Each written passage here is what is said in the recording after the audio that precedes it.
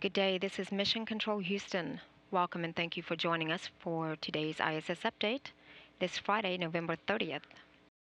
And now let's have a look back at this week in space. On a Monday, after enjoying some time off over the Thanksgiving holiday weekend, the three Expedition 34 crew members got back to work.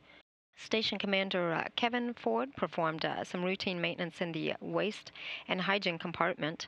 He had uh, spent some time to remove and replace the air filters. He also then performed hatch seal inspections throughout the uh, U.S. section of the orbiting laboratory, taking photographs of the seals for uh, downlink and expert analysis. Meanwhile, on the Russian side of the house, flight engineers Oleg Novitsky and uh, Yevgeny Tarelkin had worked with the typology experiment, which uh, studies a crew member's psychophysical state and ability to perform and communicate under stress. Novitsky and uh, Tarelkin also worked in the Russian segment of the station, monitoring its systems and performing a variety of housekeeping keeping and uh, maintenance duties.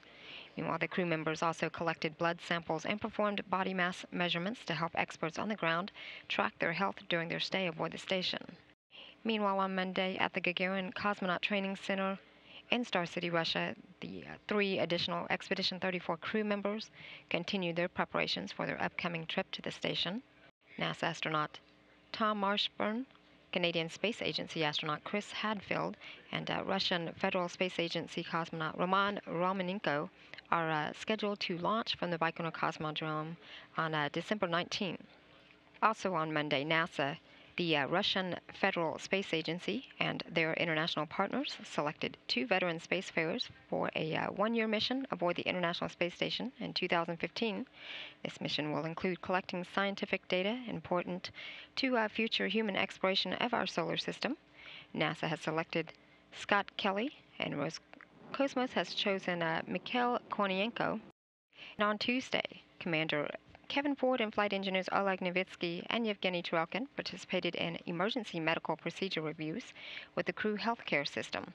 The training gives crew members the opportunity to work as a team in uh, resolving a simulated medical emergency and refreshes their memory of equipment locations, use, and procedures. Ford also had some time on Tuesday to schedule scheduled to uh, review procedures for upcoming data takes with the synchronized position hold, engage, and reorient experimental satellites, also known as spheres. Spheres uses three bowling ball sized satellites to test techniques that could lead to advancements in automated dockings, satellite servicing, spacecraft assembly, and emergency repairs. Ford also worked on Tuesday in the Destiny Labs microgravity science glove box for an ongoing InSpace 3 experiment. The study observes fluids filled with uh, microscopic particles or colloids and how they behave when exposed to magnetic fields. Also on Tuesday, Ford had uh, participated in some in flight interviews with WNDU TV and the Notre Dame Observer in South Bend, Indiana, answering a variety of questions about his stay aboard the orbiting laboratory. Also on uh, Tuesday, robotics officers in Mission Control had commanded the station's robotic arm, the Canadarm2, to walk off from the mobile base system power and data grapple fixture to the Harmony power and data grapple fixture in advance of a routine inspection of the uh, station arm uh, latching end effector. Then at the uh, Gagarin Cosmonaut Training Center in Star City, Russia on Tuesday, those uh, Expedition 34 crew members who are on the ground scheduled to launch to the station on December 9th had uh, continued their preparations for their upcoming trip to the station. Tuesday was their uh, first of two days of the uh, Russian Soyuz and Russian segment qualification exams and simulations that uh, eventually led to their final certification for flight. Then on Wednesday, Commander Kevin Ford collected data and water samples in the Kibo Laboratory's aquatic habitat for the Medaka experiment, which studies the effects of microgravity on the biological systems of Medaka fish.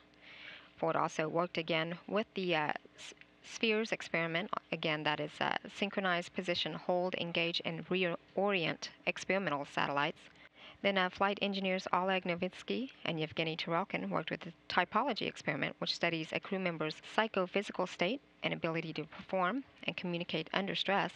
And then a, uh, the second and final day of uh, qualification exams and simulations continued at the Gagarin Cosmonaut Training Center in uh, Star City, Russia. Again, those Expedition 34 crew members soon to uh, launch to the space station were NASA astronaut Tom Marshburn, Canadian Space Agency astronaut Chris Hadfield, and the Russian Federal Space Agency cosmonaut Roman Romanenko.